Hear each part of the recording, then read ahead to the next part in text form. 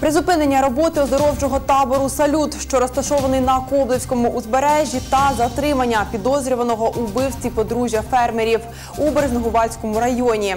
В ефірі новини на ЮА Миколаїв. В студії працює Вікторія Андрушків. Добрий день.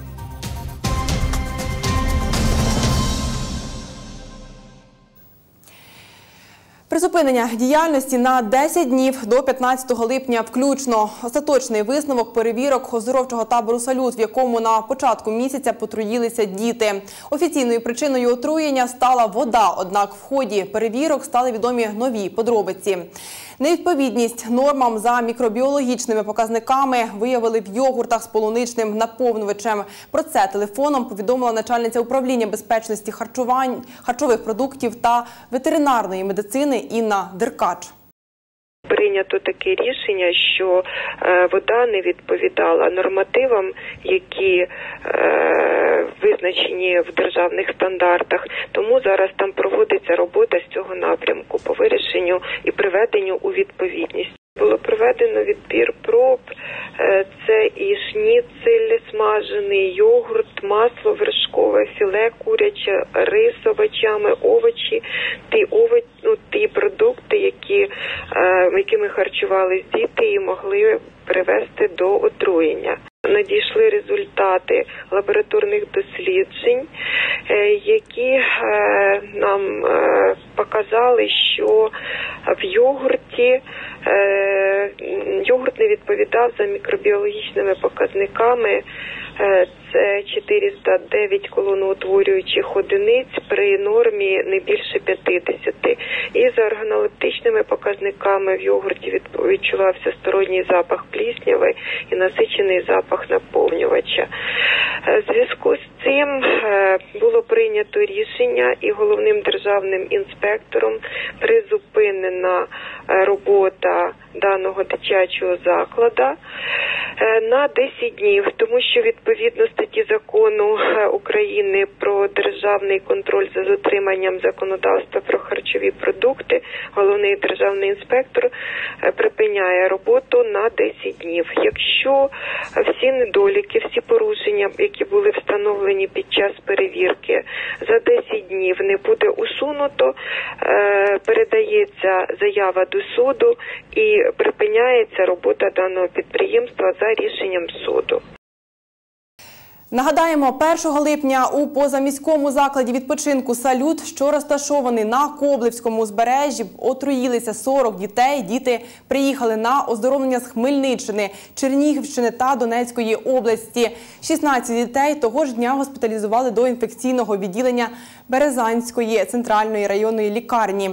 5 липня дітей виписали, вони відправились додому. Поліцейські затримали підозрюваного у вбивстві подружжя фермерів у селі Висунськ Березнегувацького району Миколаївської області.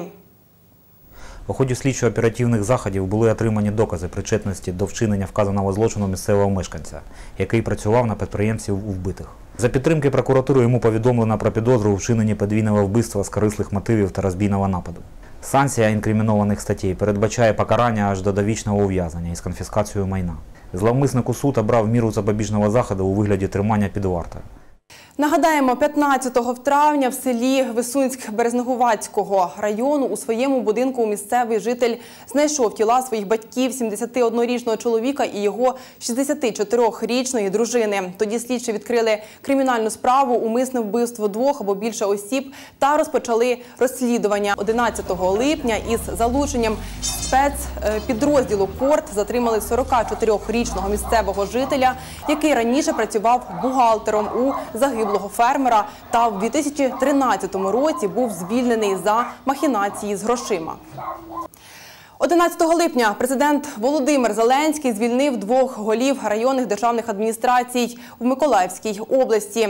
Відповідні розпорядження номер 161 2019 та номер 162 2019 опубліковані на сайті глави держави. Звільнено Сергія Танасова з посади голови Березанської районної державної адміністрації та Василя Жосана з посади голови Врадіївської районної державної адміністрації. Два дні італійського ренесансу у Миколаївському пабі відкрилась персональна фотовиставка Вадима Федорова. Найкраща фотографія це та фотографія, яка знята так, що кожен вигадує свою історію сам. Тобто кожен бачить, якщо фотографія на щось схожа, кожен бачить свою історію. І чим більше людина бачить історії, тим цікавіша фотографія. Для Вадима Федорова це перша персональна фотовиставка. Світлини зроблені за два дні 28 та 29 квітня цього року. На фото Рим та Ватикан. В 1900 там, У 1978 році вдалося купити альбом з витворами епохи відродження. Такий ось був альбом, і в ньому були фотографії скульптур, створених видатними італійськими митцями.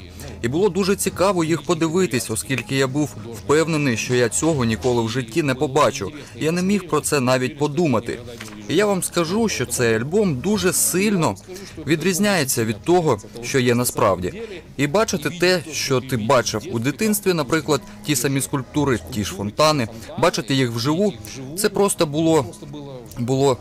Я не міг не зупинитись і не зробити їх по-своєму.